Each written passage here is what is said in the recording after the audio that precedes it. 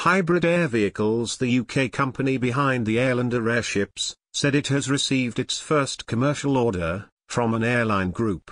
The European-based Air Nostrum Group, had reserved 20 Airlander airships for delivery from 2026. HAV, which developed Airlander at Cardington Airfield, in Bedfordshire, is expected to begin manufacturing in South Yorkshire. The firm said 1,800 jobs would be created.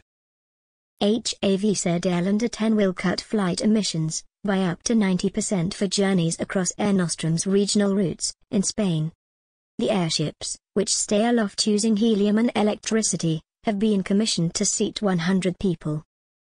Their hybrid aircraft fly due to a combination of aerodynamic lift, like an aeroplane, lifting gases, like an airship, and vectored thrust, similar to a helicopter. Airlander generates up to 40% of its lift from aerodynamics by the passage of air over the hull, and the remainder from buoyant lift from the helium. Carlos Bertomeu, Air Nostrum's president, said, We are exploring each and every possible way to reduce our carbon footprint.